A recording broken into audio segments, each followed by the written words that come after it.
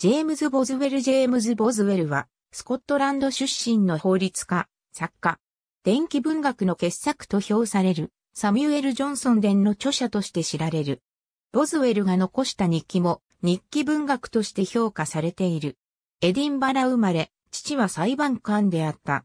グラスゴーで法律を学んだ。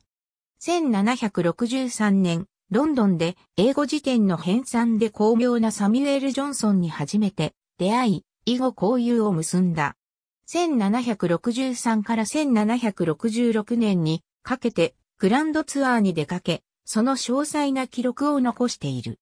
オランダのライデン大学で真面目に学び、ついでドイツ、スイスなどを回ったが、イタリアでは羽目を外して宝刀にふけった。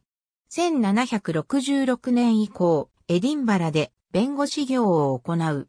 1768年、コルシカ陶器を表し、文明を挙げた。1769年に結婚し、家庭を持つが、酒とギャンブルに溺れる自堕落な生活を送った。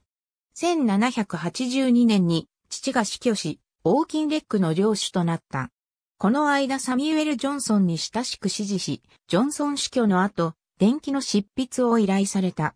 1786年、ロンドンに移住し、弁護士業で成功しようとするが、うまくゆかず失意の日々であった。ジョンソン伝執筆に心血を注ぎ、1791年に刊行した。サミュエル・ジョンソン伝は、教養あるイギリス人の筆読書と言われ、伝記文学の傑作と評価されている。本書は、シ・ジョンソンの言動を詳細に記録しており、英語で、ボズウェリアンといえば、最大漏らさずに書くを意味するほどである。ボズウェルは抜群の記憶力の持ち主で、ジョンソンの話すことを速記で書き留め、帰宅後に整理し記録していた。また、関係者への綿密な聞き取り調査や書簡などを参照して、伝記を書き上げた。20世紀になってボーズウェルがオーキンレックに残していた膨大な文書群が発見された。現在はイェール大学が所蔵し、観光を続けている。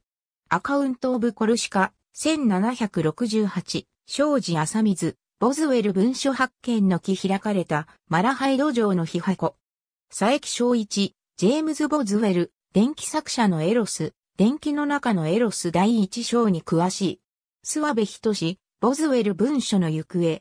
他に、ジョンソンとボズウェル事実の周辺中央大学出版部、2009年。ありがとうございます。